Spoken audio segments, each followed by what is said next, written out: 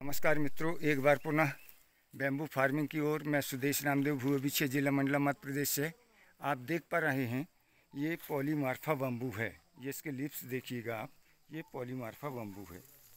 ये इसमें कांटे नहीं होते, साइड ब्रांच नहीं होता सीधा सीधे चलता है। वॉल थिकनेस की बात करें तो अंदर पल्प अच्छा है, नोट टू नोट की बात करें, गठान से गठान की दूरी तो 24 से 27 इंच इसकी गठान रहती हैं। और ये सीधा चलने वाला 50 से 60 फीट इसकी हाइट पूर्ण परिपक्वता पर आती है। अब आपको हम दिखाते हैं कि ये पॉलीवैग का साइज़ क्या है। ये रेडी टू प्लांटेशन इस साल होने वाले प्लांटेशन के लिए तैयार है। लाला, एक प्लांट दिखाओ थोड़ी।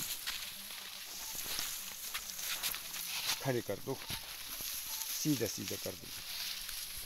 ये देखिए, ये पॉलीवैग का साइज़ ये अब आपको दिखाता हूँ ऊपर तक इसकी हाइट ये नए सूट आ रहे हैं।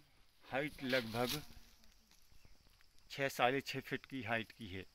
ये देखिए आप रेडी टू प्लांटेशन जिन किसी किसानों को बिना कांटे वाला बाँस चाहिए है तो मुझसे संपर्क कर सकते हैं। Thank you thank you for watching